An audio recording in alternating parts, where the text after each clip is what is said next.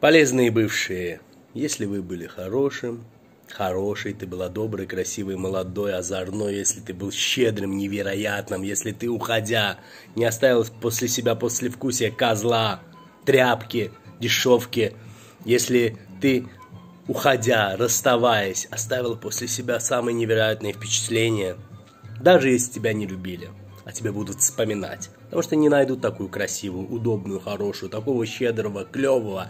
Если вы козлы конченые и стервы, вас никто не вспомнит. Вас блокнут, вас никогда не разблокируют, никогда не лайкнут. Пройдут мимо всей вашей судьбы. Но если вы чудо, то постараются вас иногда возвращать, постараются вас иногда навещать.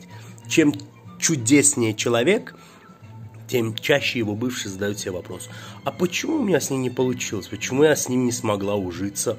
Давай-ка я его верну. Или, дорогой, как дела? Это я бала сладкий. Ну, мне нужно это, ты не мог бы мне решить. О, меня остановила Гаи. О, ты знаешь, вот у меня кредит через неделю. Ты знаешь, сейчас так плохо, нет мужчин. Или, привет, сладкая, что делаешь, как дела? Поужинай. Такая невероятная. Я таким был козлом, что променял тебя на другую, третью, восьмую, никто тебя не стоит, ты такая сладкая вкус. Вами будут пользоваться, если вы были шикарными бывшими. Не думайте, что от хороших не уходят, от богатых не уходят, от клевых, щедрых. Уходит еще как, когда влюбляются в мудаков, выбирают стерв, когда просто не могут ужиться, но потом, побыв в дерьмовых отношениях, хотят вас вернуть как минимум на скамейку запасных. Посадить, чтобы, оп, в нужный момент вас использовать. А самый удобный способ способ использовать бывшего, это что? Это его любовь. В любое время позвонишь, можно прийти. Напишешь, прибежит. Вот так, друзья мои. Не позволяйте никому вами пользоваться. Если однажды поставили точку, ставьте ее без запятых, без многоточий. Поверьте мне, если с вами не ужились один раз, не получится ни во второй, ни в третий.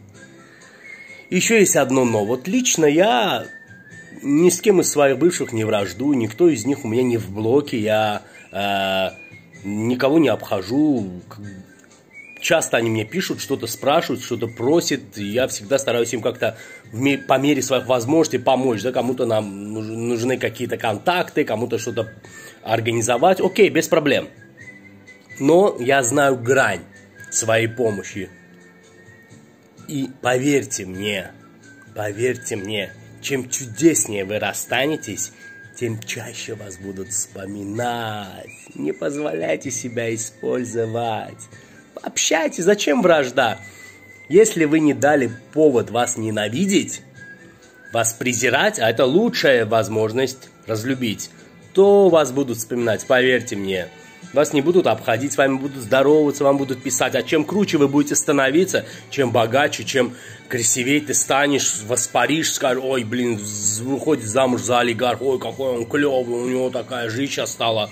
Вас попытаются вернуть, хотя бы галочку поставить. Не позволяйте. Держите этих своих бывших на том же самом месте, на котором вы с ними попрощались. Если они не козлы, не плохие, не стервы, то пускай там и сидят. Да зачем вот это? Я тебя заблокирую, я тебя разблокирую, ты меня лайкнешь, а я тебя перелайкну. Нафига? Просто оставьте прошлое в прошлом. Не обязательно сжигать все мосты, чтобы понять, что назад дороги нет. Пусть там и сидят. Стройте будущее, стройте настоящее с новыми людьми, с теми, кто пока вас не разочаровал, с теми, кто пока вас не предал, не втоптал в землю, не выстрелил в спину и не столкнул в пропасть.